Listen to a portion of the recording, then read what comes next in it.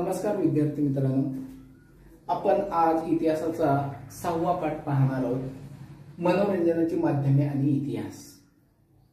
मनोरंजनाची विविध माध्यमं आहेत.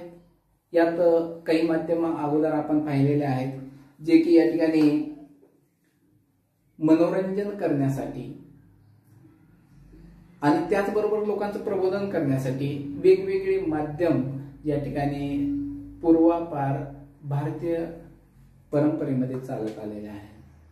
त्यामध्ये लोकनाट्य आले लोकनाट्याचे विविध प्रकार आपण पाहिले.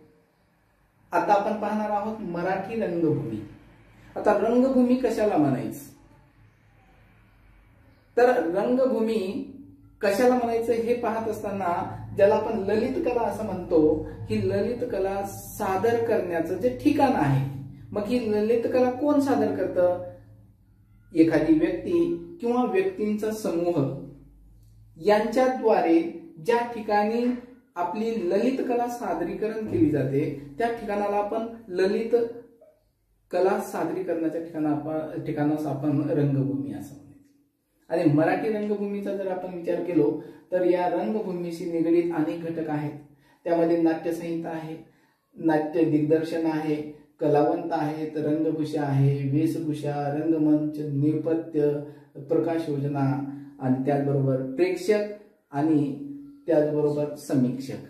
या सर्वांची गरज ही रंगभूमीवर ललित कला सादरीकरणासाठी आवश्यक आहे. आणि या रंगभूमीवर ज्या ज्या कला आतापर्यंत सादरीकरण करण्यात आलेल्या आहेत त्यातून लोकांचं मनोरंजनाबरोबरच त्यांचं उद्बोधन देखील यामधून झालेलं आपल्याला दिसून येतं. आणि मराठी रंगभूमीचे जनक आपण विष्णुदास भावे यांना मानतो. कारण विष्णुदास भावे यांनी सीता स्वयंवर हे नाटक या रंगभूमीवर पहिल्यांदा सादरीकरण केले.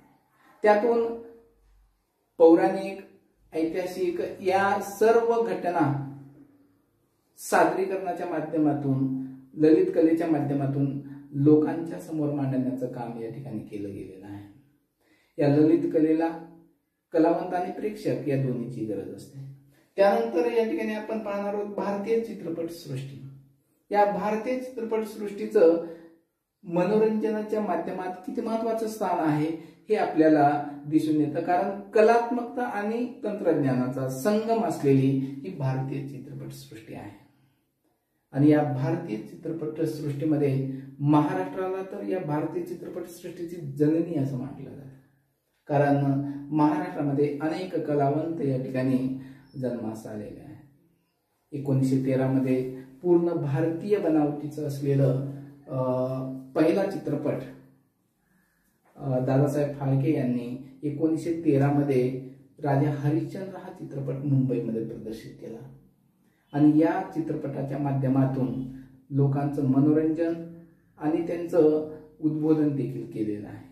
असे अनेक ऐतिहासिक पौराणिक अनेक कहाण्यावर किंवा कथेवर आधारित हे चित्रपट पूर्वी भारतामध्ये प्रदर्शित व्हायचे. त्यामध्ये हळूहळू बदल होत होत आज अनेक चित्रपट या भारतामध्ये निर्माण झालेले आपल्याला